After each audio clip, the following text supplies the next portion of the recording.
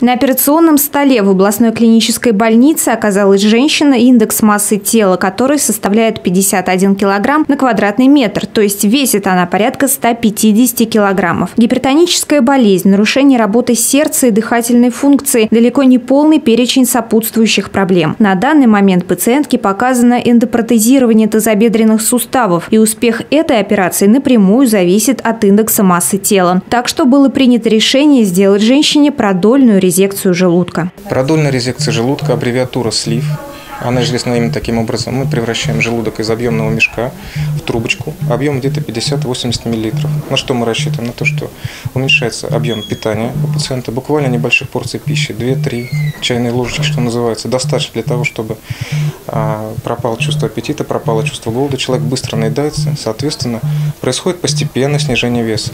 В перспективе пациентка сможет похудеть на 50-60 килограммов, а благодаря новейшим технологиям выписаться после операции она сможет уже через 2-3 дня. Великолепное оборудование, скажем, те современные инструменты, на которых мы работаем и которыми мы работаем, они позволяют делать эти операции лапароскопически, через маленькие проколы передней брюшной стенки. Минимальная травма, максимально быстрый период восстановления. Продольная резекция желудка является одной из многих уникальных операций, которую сегодня могут сделать врачи областной клинической больницы. Ведь для России манипуляции такого типа пока являются редкостью. По статистике в нашей стране делают всего лишь около 4 тысяч подобных операций в год, в то время как в странах Европы их совершают порядка 20-30 тысяч. Ирина Ковалева, Роман Вихров, телекомпания «Город».